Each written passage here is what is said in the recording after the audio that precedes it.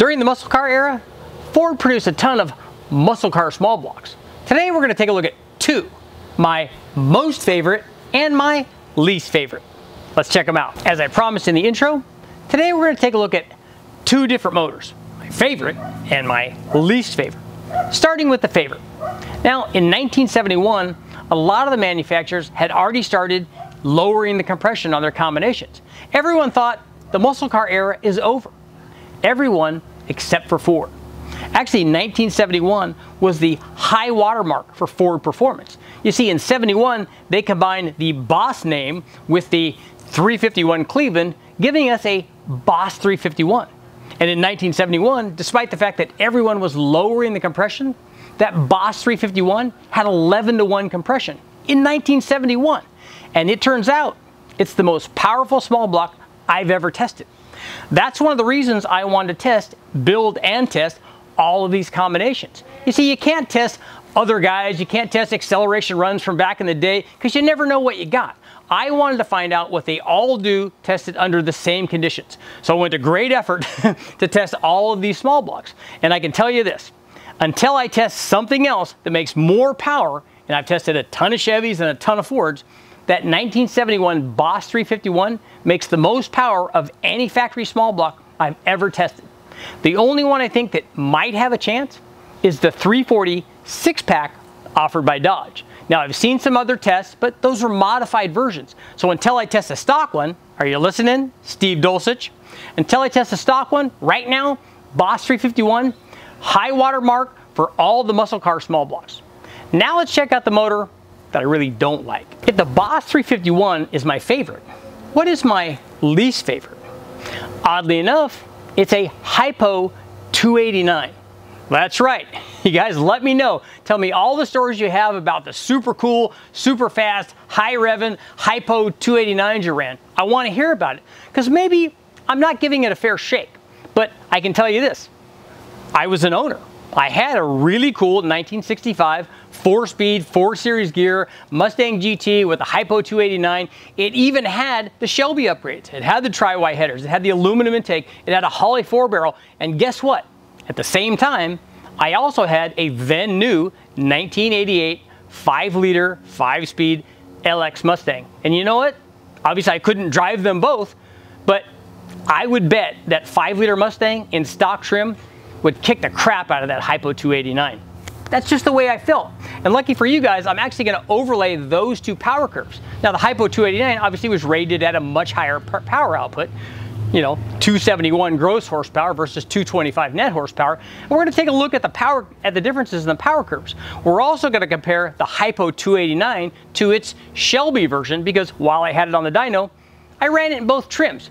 But you guys let me know. I'll show you what the power curves are and I'll tell you, it's just not that impressive. Now I know back in the day, all those Mustangs were fairly lightweight, especially a Shelby. And next to a Boss 351 body style, that Shinoda body, that 65 and 66 fastback Mustang, especially a Shelby, my next favorite. But that's not enough to make me like that little 289. Tell me what you think. Let's get to our test. So what is the most powerful and simultaneously my favorite muscle car or small block? At least in terms of Ford, is the Boss 351. And it was produced in 1971. That's right, before, after most people went away from the high compression, Ford retained it in 1971 and still had 11 to 1 compression in the Boss 351. Not only that, they had Cleveland 4V heads on this thing, which as we saw in our uh, Boss 302 video, those heads flow a lot. They can make a lot of power. And and in my opinion, if anything, they're even more at home on the 351 displacement than they were on the Boss 302. Takes nothing away from the Boss 302. Obviously, awesome motor, and it's kind of a toss up for me between the Boss 302 and the Boss 351, only because I like the body style of the Boss 351 Mustang so much, far and away my favorite body style. Now, the Boss 351 Mustang was a radical departure. A lot of guys love it, a lot of guys hate it.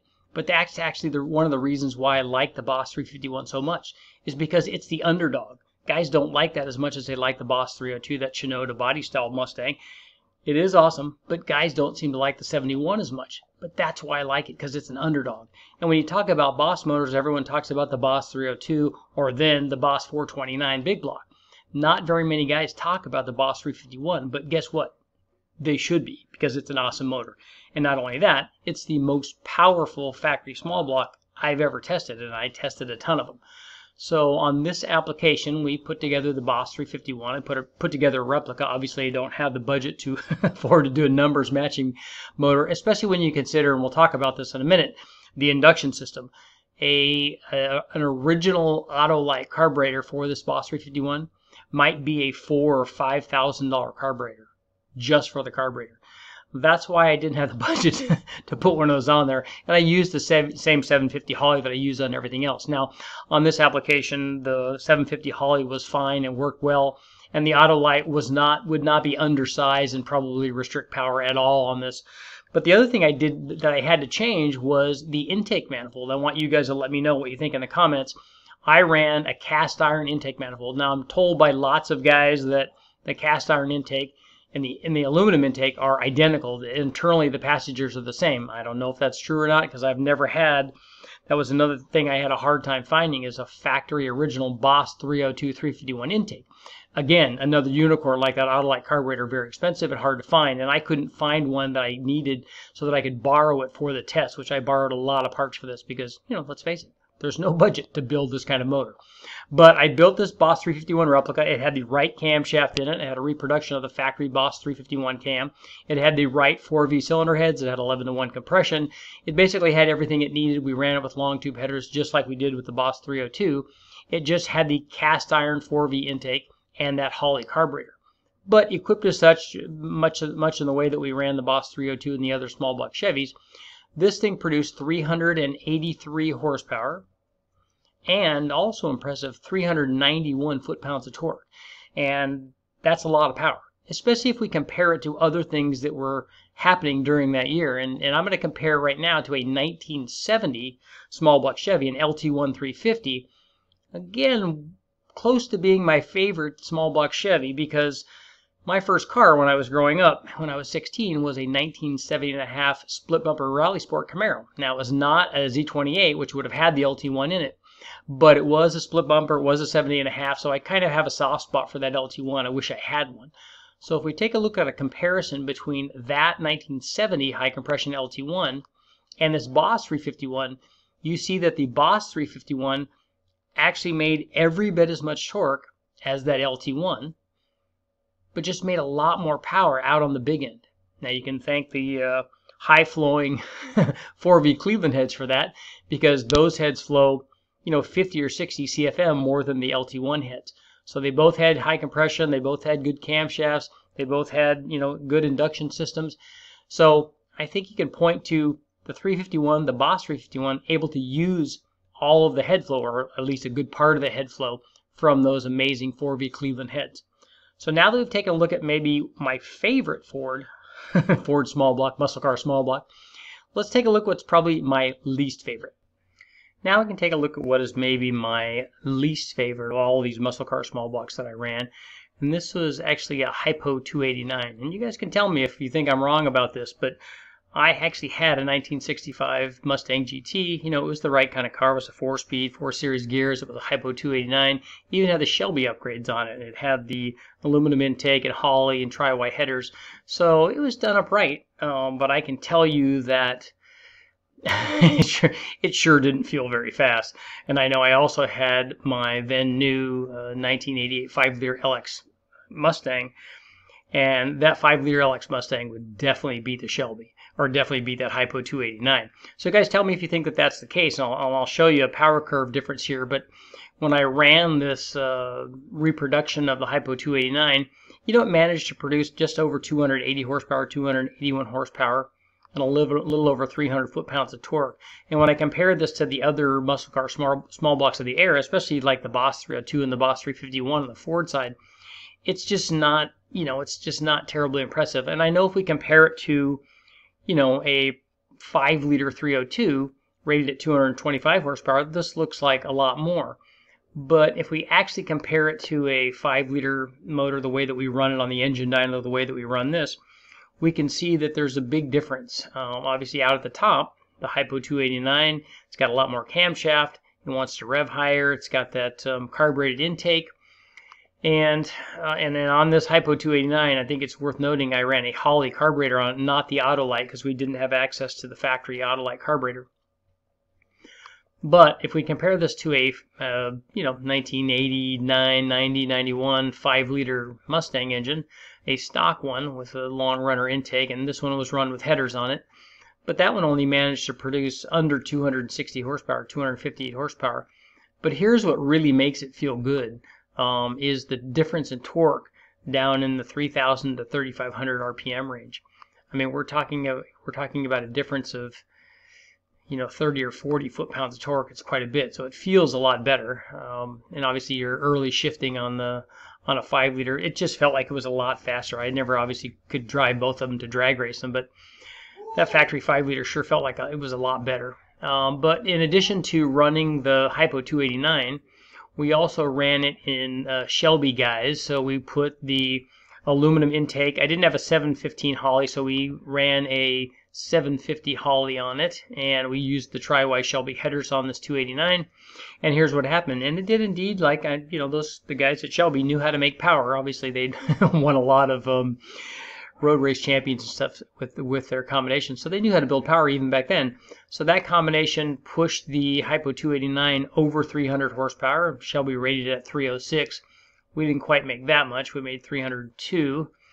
And torque was up to, through most of the curve, 310 foot-pounds of torque. So that was being a little bit more respectable. Now I hear a lot of comments from guys, and I want you guys to make the comments about guys revving these things out to, you know, you can pick your number. Guys are saying 8, 9, 10, even 10,000 RPM, which you know, maybe maybe guys really did back in the day.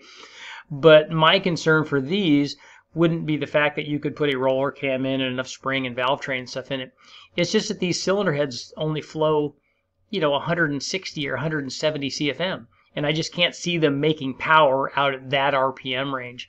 Now, maybe if you put a really big set of ported heads, I mean, a 289 is small by displacement comparisons, you know, compared to the 302 and the 351 that and 327 that the other guys were using. But it also didn't have much head flow. So if you put a airflow research or a trick flow head on this, it would be a lot better, but it would still only be 289 cubic inches. So it always had a deficit. The one thing it did have going for it is if you put this motor in a 65 or 66 fastback Mustang, which is awesome they were pretty lightweight, so that, that helped them obviously with the power to weight ratio. But let me know what you guys think. 289, not, not a big fan. Like the Boss 302 and the Boss 351 much better. Let's get to our conclusion. Okay guys, what'd you think about our test? Is the Boss 351 really the most powerful factory muscle car small block ever produced? If it's not, what do you guys think it is? For me, it's awesome. Lots of head flow, enough displacement compared to the 302. It has enough camshaft. It has enough compression. Of course, I can't afford the five or ten thousand dollar Autolite carburetor and unicorn aluminum intake manifold, but that's beside the point. Guys that have Boss 351s already have that stuff, and obviously they work well. What about the HiPo 289? Did I not give it a fair shake? Should I really like that? Should I take another look at it? Here's my problem. I kind of choose these based on the power potential and a Boss 302, or in this case, a 351, has a cylinder head that flows a ton. A HiPo 289 has a cylinder head that flows almost nothing. I mean, a Boss head outflows that HiPo 289 head by probably 100 CFM per cylinder. Per cylinder. That's a lot. So while the Boss is just scratching the surface of the potential of that head, the HiPo 289 is using almost all of that head. And maybe that's why I don't like it, because it doesn't have a ton of potential. But let me know if I'm wrong. Thanks for watching, guys. Make sure to like, share, subscribe, ring the bell. Let me know. I'll keep testing.